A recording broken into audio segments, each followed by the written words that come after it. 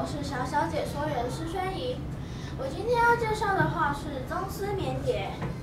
这句话出自《诗经》：“宗师正正，瓜瓞绵绵。”蝶就指小型的瓜，由于瓜蔓能够绵延生长且不断结实，而宗师生产能力旺盛，是鸣虫中体型较大的一种，体长在四十毫米左右，身体草绿色。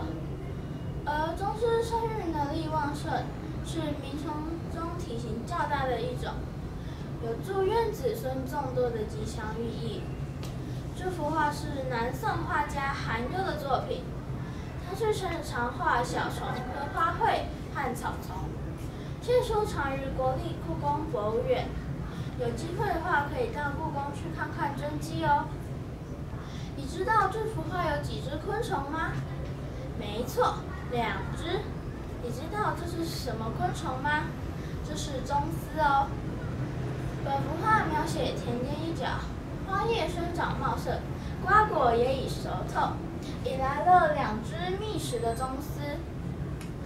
仔细看看画中一颗熟透的瓜果，好像散发着迷人的果香，令人垂涎欲滴。仔细看看螽斯将触角伸得高高的。好像想大快朵颐一番呢。这样的题材有着多子多孙多福气的祝福，反映出古人丰沛的想象力。我的导览到此结束，谢谢大家。